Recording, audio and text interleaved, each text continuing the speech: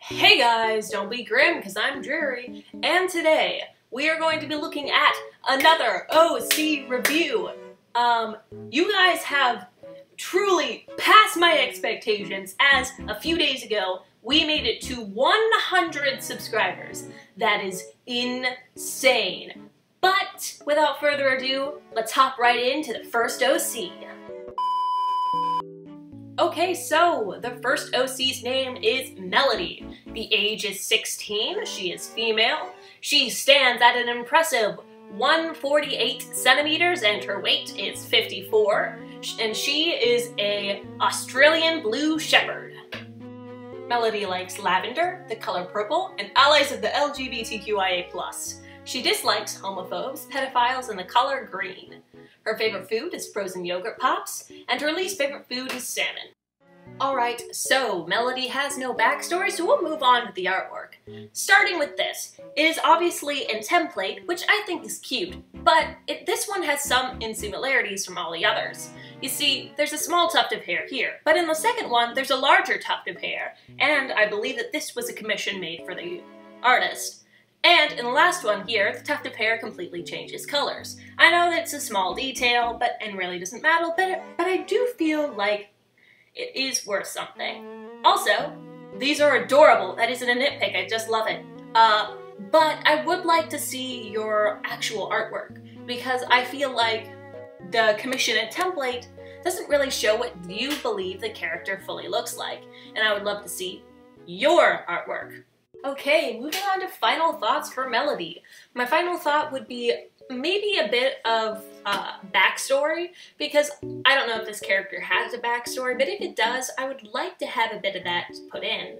Also, um, why do you not like the color green? The color green is fantastic. That is the best color in the rainbow. You want to know what the best color in the rainbow is? Green. It's fantastic. It's beautiful. It's got all sorts of shades. It's got so many shades. I'm probably going way too far into this, but the color green is fantastic and I will not stand for blasphemy.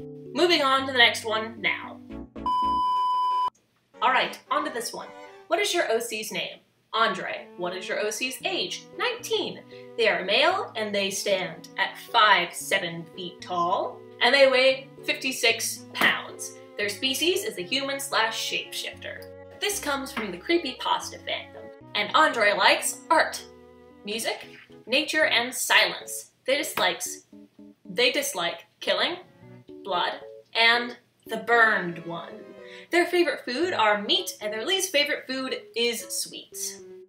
Andre Toussaint is a young man that constantly tried to live up to his parents' expectations. His parents wanted him to be the perfect son, but the problem was that everyone thought he was weird or kinda creepy. He constantly looked distressed or uncomfortable, he never found anything funny, and he didn't understand sarcasm. But he loved animals that lived in his garden, seemingly more than his family. The reason people hung out with him was the wealth that his family had. Everyone secretly hated or feared him. People thought that he was stupid or mentally disabled, and it hurt him a lot when he found out, but he played along. He didn't want to be known as the loner who would eventually get bullied. He was already disappointing his parents enough. For the past few weeks, he felt even more uncomfortable than usual. Something was watching him, stalking him. And as he walked home from school, he, this feeling started to grow more and more obvious. But he shrugged it off and went home. When he reached the villa, he went straight into the garden to ease his mind. His parents weren't home for the week, so he had the villa to himself. There was a stray cat that always came to him whenever he was in the garden. Andre was playing with the cat and was in his own world. He didn't even notice the being that was watching him was coming closer. And then it happened. Something pierced through Andre's right eye. It burned like hell and he tried to scream, but he couldn't. Something was choking him, the smell of burning flesh all around him. He passed out. He woke up in his room, a monstrous thing standing before him. He noticed that he couldn't see a thing with his right eye. When he asked what this thing was and what it wanted from him, it introduced itself as the burned one, and then it wanted to have some fun. Andre was trembling and started to cry. but it just laughed and gave him an animal skull. It gave a clue by saying that his name is now Levoyant, and that he will have to shed some blood in the near future. After that, it disappeared, and Andre was left alone, with his thoughts, a blind eye, and an animal skull. So let's look at the artwork that was sent to us. Here we have a picture of what he looks like in his mask, his boots, his half knife, his half boots.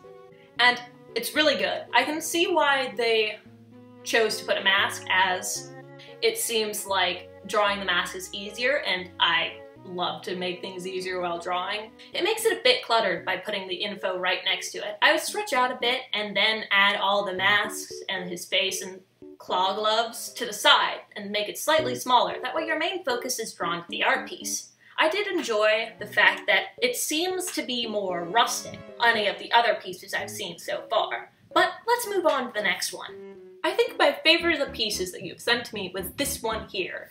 It is beautiful and illustrates, and illustrates his shapeshifter powers. It also gives you a strange feeling of hopelessness and despair from the blood streaming into the water. And it gives you a bit of the monster vibes that most creepypastas give people. I find it beautiful and kind of calming at the same time, even if it is uneasy. Again, I love this, it's beautiful, and let's move on to final thoughts. My final thoughts for this one.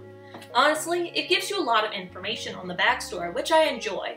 I think longer is better, especially with backstories, as it gives you more information into the character and why they swapped. As he completely swapped personalities, as he was constantly bullied, didn't feel like he lived up to his parents' expectations, and that, plus the experience of having an eye torn out and being told and morphed into this non-human thing, it would definitely change a person. And I think this was beautiful. It showed great storytelling, the art was fantastic, and I freaking loved it. Alright, so that is the end of today's video. But I want to do 100 subscriber special because you guys hit that milestone and it is fantastic because I've been doing YouTube for years and never really expected to ever hit like even 100. So I'm so glad you guys are here with me today, and I want to do something special. So uh, tell me what you guys would like to see for 100 subscriber special, and I will do that for y'all, whatever you guys say in the comments. Anyway, peace. She out of here. She outie. Ah.